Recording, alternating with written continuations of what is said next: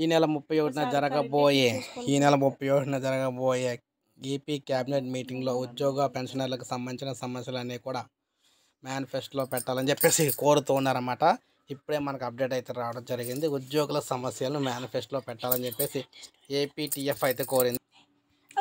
So ఆ విధంగా మనం చూసుకున్నట్లే ఉద్యోగ పెన్షనర్లకు సంబంధించి అప్డేట్ అయితే వచ్చిందనమాట త్వరలో ఎన్నికలు జరుగుతూ ఉన్నందున ఉద్యోగులు పెన్షన్దారులకు సమస్యలను రాజకీయ పార్టీ తమ మేనిఫెస్టోలో పెట్టాలని ఏపీ ఉపాధ్యాయ సమైక్య అధ్యక్ష ప్రధాన కార్యదర్శులు అయితే కోవడం జరిగిందనమాట ఇప్పుడు మనకు హృదయరాజు చిరంజీవి గారు అయితే కోవడం అయితే జరిగింది.